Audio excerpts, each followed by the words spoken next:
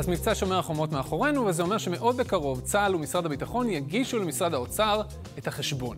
תקציב משרד הביטחון הוא בערך 60 מיליארד שקל בשנה. חצי מהסכום הזה, בערך, הוא תקציב צה"ל. העניין הוא שתקציב הביטחון הוא לא בשיטת הכל כלול. רוצים גם מלחמה? תשלמו. אוקיי, אז כמה היא תעלה? מנכ"ל משרד האוצר לשעבר, שי באב"ד, העריך לאחרונה שהדרישה התקציבית של משרד הביטחון תהיה איפשהו בין חמישה לעשרה מיליארד שקל. ראיינתי אותו לפני שבוע לפודקאסט שלנו, חיות כיס, חפשו אותנו בגוגל ותוכלו להאזין לפרק המלא. איך מגיעים לחמישה עד עשרה מיליארד?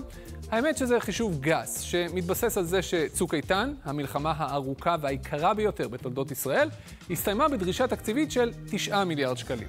הפעם מדובר במבצע הרבה יותר קצר, ולכן סביר להניח שהדרישה התקציבית לא תגיע עד תשעה מיליארד. מצד שני, זה היה מבצע מאוד אינטנסיבי. העלויות העיקריות הן התחמושת הרבה ששימשה להפגזה של רצועת עזה, המיירטים הרבים של כיפת ברזל, וגם הגיחות הרבות של חיל האוויר. דלק סילוני, דבר יקר. לכן סביר להניח שלמרות שמדובר במבצע קצר יחסית, הוא לא יעלה פחות מ-5 מיליארד שקלים. בשנת 2014, בזמן צוק איתן, תקציב המדינה הצליח להכיל יחסית ללא קושי את עלות המלחמה. אבל הפעם, הפעם אנחנו נמצאים בתקופה שונה.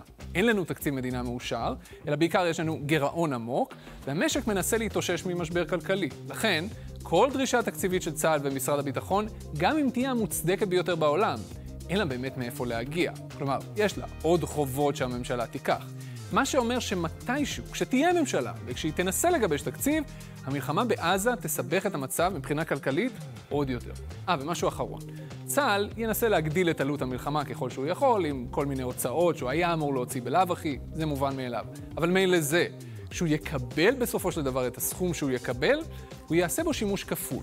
הוא אכן יזמין את כל הדברים שהשתמש בהם במהלך המלחמה, כלומר, פצצות חדשות, מיירטים חדשים לכיפת ברזל, כל אלה. אבל על כל אלה לא צריך לשלם את כל הסכום עכשיו, משלמים את זה בתשלומים.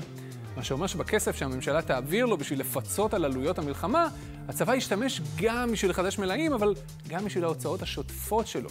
דלק, מזון, שכר לאנשי הקבע, מה שבא. כי בסופו של דבר, גם אם לא נעים להודות בזה, לפחות מבחינה כלכלית, מלחמה עניין די משתלם עבור הצבא.